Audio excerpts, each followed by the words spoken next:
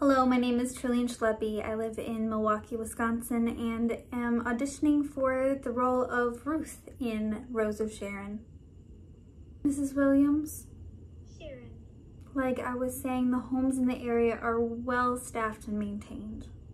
We wanted to provide you with the best options available. This is for Cedar Creek Family Home.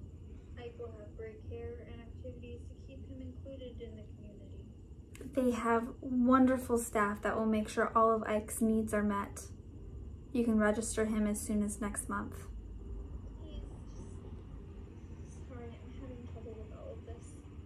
Mrs. William, Sharon, we understand the struggles of being a single parent, especially when that child is special needs.